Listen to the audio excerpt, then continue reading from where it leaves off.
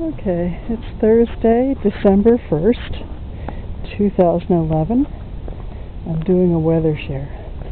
Bright and sunny here in Griffith, Indiana. And as you can see, the trees have given up most of their leaves. It's about 34 today, but they say it's going up in the low 40s. The wind is not too bad right now. Last night it was too bad. anyway, uh, the sky looks pretty good.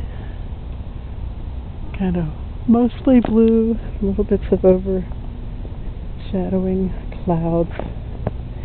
I have a long walk, so I am going to turn off my camera and put my gloves on.